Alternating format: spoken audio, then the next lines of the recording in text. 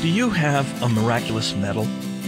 That's the name of a special medal that the Blessed Mother herself commissioned on this day in the year 1830. Hello, I'm Father James Kubicki, and the young religious woman to whom Our Lady appeared was Saint Catherine Labouré.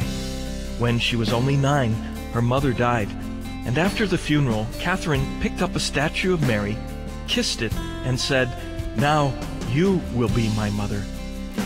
In time, Catherine entered the Daughters of Charity, a group founded by St. Vincent de Paul, and Mary appeared to her, asking for a medal with her image and the words, O Mary, conceived without sin, pray for us who have recourse to thee. This was the beginning of what is now known as the Miraculous Medal, and it became so popular that within four years 10 million medals had been made to meet the demand. Sister Catherine lived the rest of her life in such obscurity that Pope Pius XII, who canonized her in 1947, called her the Saint of Silence.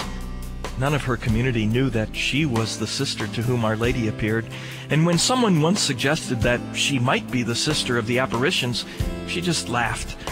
Besides her humility, we can also learn something about prayer from her. Here's how she described her own prayer life. When I get to the chapel, I put myself before the good God and say to him, Lord, here I am. Give me what you wish. If he gives me something, I am happy and thank him. If he gives me nothing, I thank him still, because I do not deserve anything more. Then I tell him all that comes into my mind. I tell him my sorrows and my joys, and I listen.